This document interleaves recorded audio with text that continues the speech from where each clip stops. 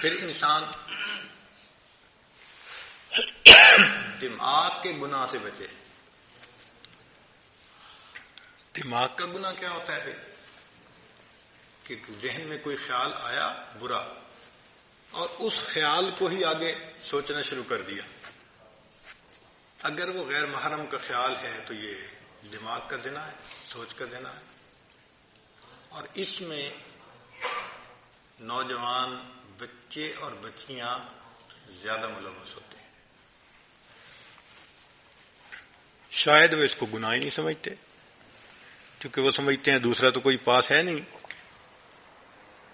इसको फैंटेसी कहते हैं। फैंटेसी के गुनाह से दिमाग पर डायरेक्ट जुलमत आती है। देखे ना भाई, आपने गैर महरम को किसी ने देखा तो वो तो पंद्रह सेकंड के लिए चली गई। लेकिन फैंटेसी तो आधा घंटा, पौना घंटा, एक घंटा ख्याल चल रहा है। जितनी देर गैर महरम का प्रोसेस चल रहा है दिमाग में, उतनी देर दिल के ऊपर जुलमत आ रही है। तसव्वुफ के मैदान में फैंटेसी सबसे बड़ा गुनाह है जो दिल को स्या करता है।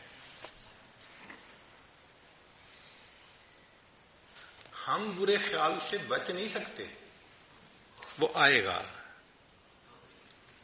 मगर हम उसको झटक तो सकते हैं ना। तो शरीयत कहती है कि तुम झटक दो।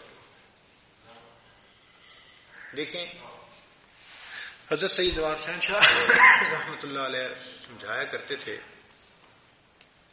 कि पुलिस, ट्रैफ़िक पुलिस का एक आदमी चौराहे पे खड़ा होता है। उसका काम होता है कि भाई तुमने यहाँ पर ट्रैफ़िक जैम नहीं होने देनी। लिहाजा दाएँ तरफ़ से ट्रैफ़िक आती है तो वो बाएँ तरफ़, और बाएँ से ट्रैफ़िक आती है तो दाएँ तरफ़। आगे से आती है तो पीछे पीछे से आती है तो आगे। उनको चलाता रहता है। जब तक ट्रैफ़िक अपनी अपनी तरफ़ चलती रहेगी, वो एक कामयाब ट्रैफ़िक कंट्रोलर समझा जाएगा, उसको इनाम भी मिलेगा, तनख्वाह भी मिलेगी, उसको एप्रिसिएशन के लेटर भी मिलेंगे। और वही बंदा अगर चौराहे पे खड़ा हो और जो गाड़ी आके चौराहे में रुक जाए, उसको पूछे ही ना तो क्या होगा? ट्रैफ़िक जाम हो जाएगी। तो उसकी ड्यूटी बदलती जाएगी, हो सकता है उसको नौकरी से निकाल दिया जाए। तो दिमाग भी चौराहे की मान्यता है। इसमें नेक ख्याल भी आते हैं, बुरे भी आते हैं। शरीयत कहती है कि नेक है तो सोचो बेशक, और अगर बुरा है तो जहन से झटक दो, जमने न दो।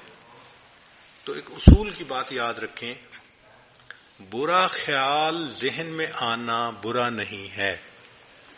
बुरा ख्याल जहन में आना बुरा नहीं है, बुरे ख्याल को दिल में लाना और दिल में जमाना ये बुरा है।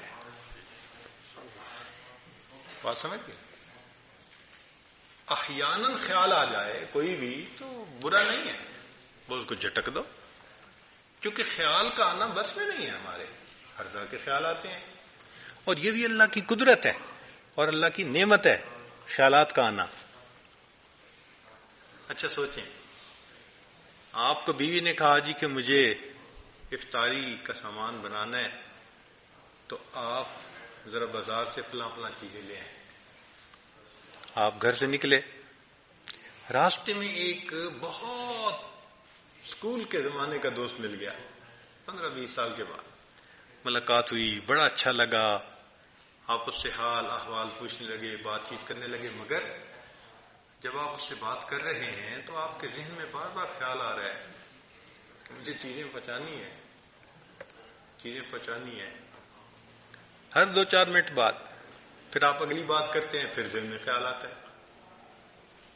अगर ये ख्याल ना आता और आप जिस ख्याल में लगे हैं, वही होता तो आपको तो वही खड़े खड़े इफ्तारी का वक्त हो जाता। और घर आते तो फिर आपको आपकी इफ्तारी बहुत अच्छी होती।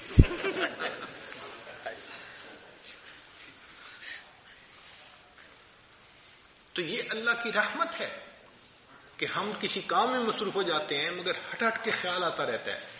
आपने एयरपोर्ट पे जाना है, आपको देर हो रही है। हम कहते हैं अच्छा जी, मैं अब बात को मुकम्मल करता हूँ, मुझे जरा जाना है। तो ये तो अल्लाह की रहमत है बार बार ख्याल का आना। तो रेपिटेशन होना, ख्याल का, ये फितरत है इंसान की।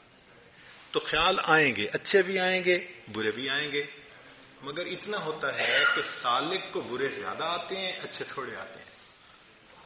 और जब इंसान सालिक अपने आप पर मेहनत कर लेता है तो फिर एक ऐसा वक्त आता है कि अच्छे ख्याल आते हैं, बुरा ख्याल आता ही नहीं। ख्याल ही नहीं आता। ऐसी सोच पाक हो जाती है। मेहनत करनी पड़ती है।